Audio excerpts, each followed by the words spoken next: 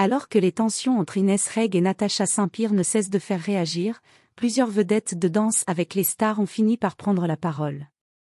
C'est le cas de Maxime de Rémé, le partenaire de Keona, qui a défendu son confrère Anthony Colette.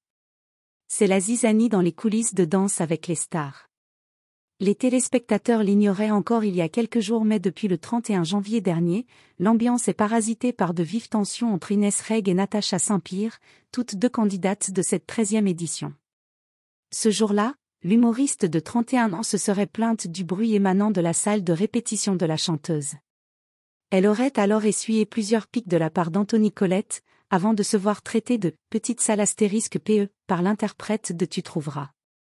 Profondément choquée, l'ex-compagne de Kevin De Bonne a expliqué avoir décidé de partir et de prendre ses distances avec le duo, avant de découvrir peu après qu'ils avaient tous les deux déposé une main courante contre elle. Face aux révélations d'Inès Reg, de nombreux internautes ont accusé Natacha Saint-Pierre de racisme, les internautes ne trouvant pas d'autre explication au fait qu'elle craigne pour sa vie après son altercation avec l'humoriste. Ah oui, je vois, on est des Noirs et des Arabes, c'est ça qui t'a fait peur, ça s'appelle du racisme Natacha, a elle-même souligné Inès Reg. Pourtant, Natacha Saint-Pierre l'affirme, si elle a eu peur, c'est parce que la jeune femme aurait bel et bien proféré des menaces. Elle lui, note de la rédaction, à Anthony Colette, dit qu'elle va le NC astérisque l'air, le N astérisque care, que ce n'est pas fini, et avec beaucoup de colère, elle me dit, et toi, si tu ne comprends pas ce qu'il a fait, tu n'es pas mieux que lui, a expliqué la maman de Bichante. Maxime de Rémé prend la défense d'Anthony Colette. Alors qu'Inès Reg a déclaré qu'elle ne s'exprimerait plus sur l'affaire après sa longue vidéo postée sur les réseaux sociaux, plusieurs protagonistes de l'émission sont sortis du silence.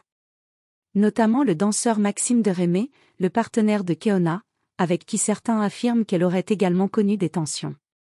Comme la plupart des membres du casting de danse avec les stars, ce dernier s'est rangé du côté de son confrère d'Anthony Colette, se disant scandalisé par ce qu'il a pu voir à son sujet ces derniers jours.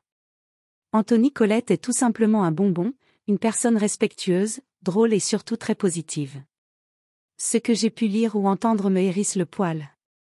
Danse avec les stars a toujours été une émission vectrice d'émotion et d'humanité, donc continuons à partager de belles valeurs, a écrit le danseur de 41 ans, qui a notamment dansé avec Bilal Hassani ou encore Pamela Anderson, dans sa story Instagram. Quelque chose nous dit que cette affaire est loin d'être terminée.